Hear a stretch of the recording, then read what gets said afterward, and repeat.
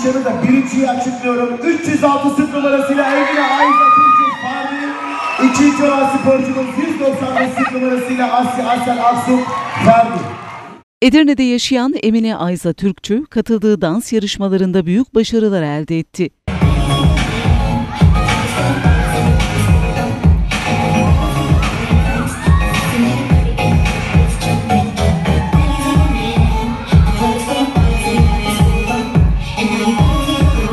Henüz 10 yaşında olan ancak yaşından çok madalyası bulunan küçük kız hedef büyüterek dünya şampiyonasına katılmaya karar verdi. Önümüzdeki aylarda Avusturya'da yapılacak olan Dünya Hip Hop Dans Şampiyonası'na katılmaya hazırlanan Türkçü, Edirnelilerden destek beklediğini söyledi. Katıldığı çeşitli yarışmalarda 8 ayda 4 birincilik bir de üçüncülük elde eden, sayısız madalya kazanan 10 yaşındaki Emine Ayza Türkçü, dans eğitmeni Sergen Şevi'ye teşekkür etti. Merhaba ben Emine Ayız Türkçü. 10 yaşındayım. Dans etmeyi çok seviyorum. Dansa ben K-pop'la başladım. K-pop danslarını izleyerek çok sevdim ve onları yapmaya çalışarak başladım dansa. Bunları ben eee, ya Türkiye şampiyonasından ya da diğer dans yarışmalarından kazandım. Kaç tane olduğunu sayamadım. 8 ayda 5 tane kupa kazandım. 4 tane birincilik, eee, bir tane üçüncülük kazandım.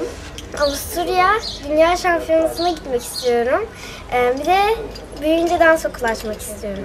Edirne'nin başarılı dansçısı Emine, kendisine destek veren Sabuni Mahallesi muhtarı Aykut Yaman'ı ziyaret etti. Mahalle muhtarı esnaf Aykut Yaman, Emine Ayza Türkçü'ye elinden geldiğince destek verdiğini ancak bunun yetersiz kaldığını belirterek dans yarışmalarında büyük başarı elde eden kızımızı tüm Edirneliler olarak destekleyelim dedi. Kızımıza destek olmak amacıyla buradayız. Hip hop olan dans yarışmasının birincisi olan Emine yeğenime e, Avusturya'da dünya şampiyonasında bizi daha iyi temsil edebilmesi için desteklerini herkesin bekliyoruz. Sponsorlar arıyoruz bu konuda. Mahalle muhtarı olarak biz de destek oluyoruz. İnşallah iyi bir neticeye de varırız. Edirne'miz bu konuda da daha büyük bir reklama kavuşur. Nasıl ciğerimiz varsa, nasıl süpürgemiz varsa bizim de eminemiz var diye artık sloganımıza çıkmak istiyoruz.